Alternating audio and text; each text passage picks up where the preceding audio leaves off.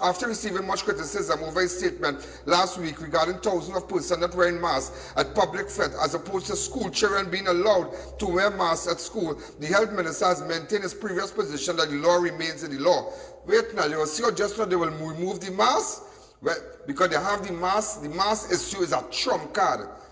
It's a trump card.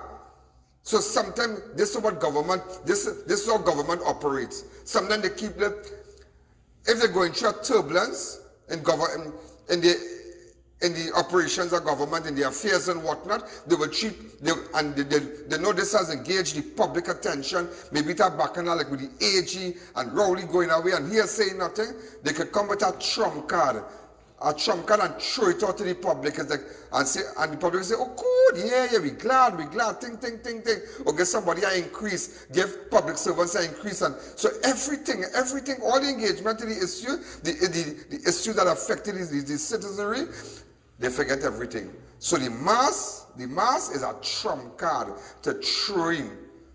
Mark my word, yeah, back because that that that is what they did when they lifted the, the, the public health um, the restrictions for bars and going into clubs and whatnot. And that is when, remember, they had, they had used that. We, we had some pressing issues at that time. And they, and so, so, so, they, so they decided that that's true.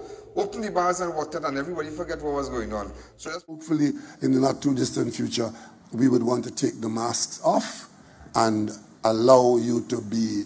Um, I, I am expecting to hold discussions with the Ministry of Health soon to see whether we can allow you to have masks as a voluntary action as against uh, having it um, dictated to you by law. Because it appears to me I was, I was out of the country and it seems as though your nervousness of COVID has disappeared. I have seen so many gatherings without a mask being present. And you had me very, very concerned, and I counted the days and I looked at the outcome, and it appears as though we can be a whole lot more interactive without being irresponsible. So it may be that the mask may come off very soon.